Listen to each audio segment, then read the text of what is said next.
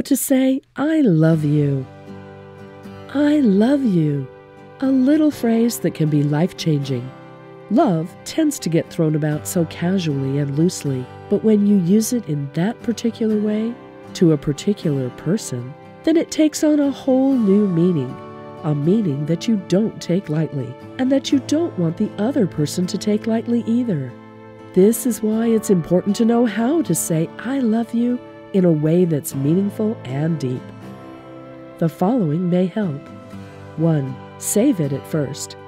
Saying those words will make expectations rise, and you don't want to lead somebody on if you do not want them to make plans for the future based on your casual words. Being spare will also build up suspense, so that when you finally do say it, it's more laden with meaning and all the more precious. There will come a time when saying it often will be called for.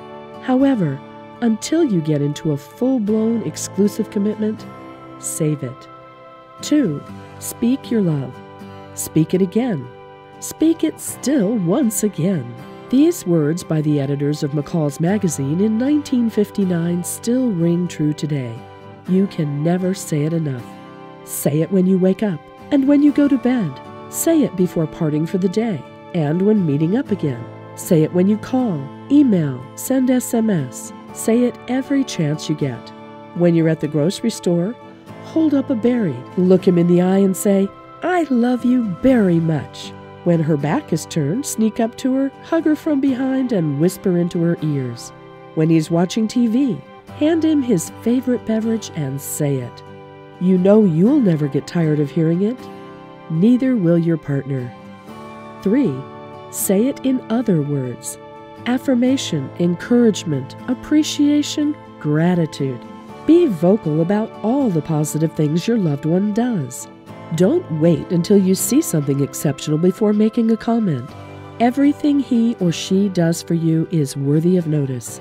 Neglect and disregard can really drain a person's emotional bank account. On the other hand, positive reinforcement will make a person bloom. 4. Seek to touch. Physical contact reduces mortality rates in babies. It also does so for relationships. Touch is a powerful communicator. It doesn't have to be sexual in nature, a quick peck on the cheek or even the temple, tucking hair behind a girl's ear, a playful smack on a guy's arms all convey a desire to connect, to be present, to be there for your partner.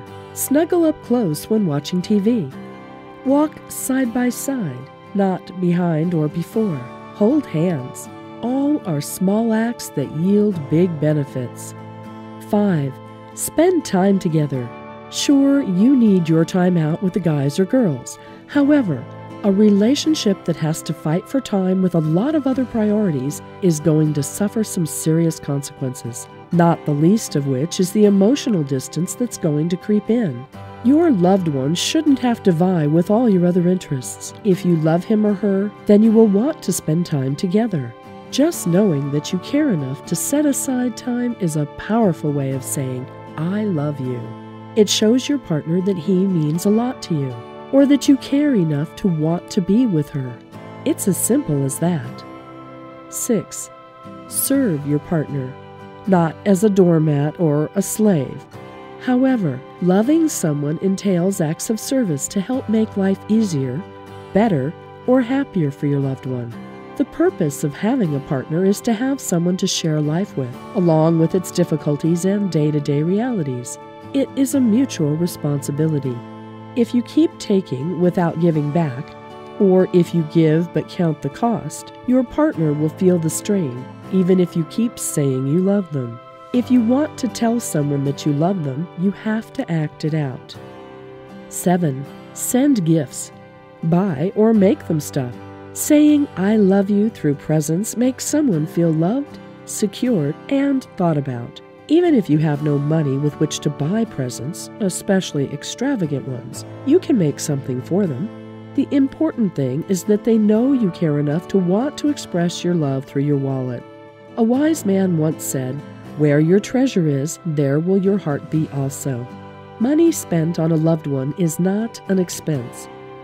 It is an investment in your own happiness and your future. Do not skimp.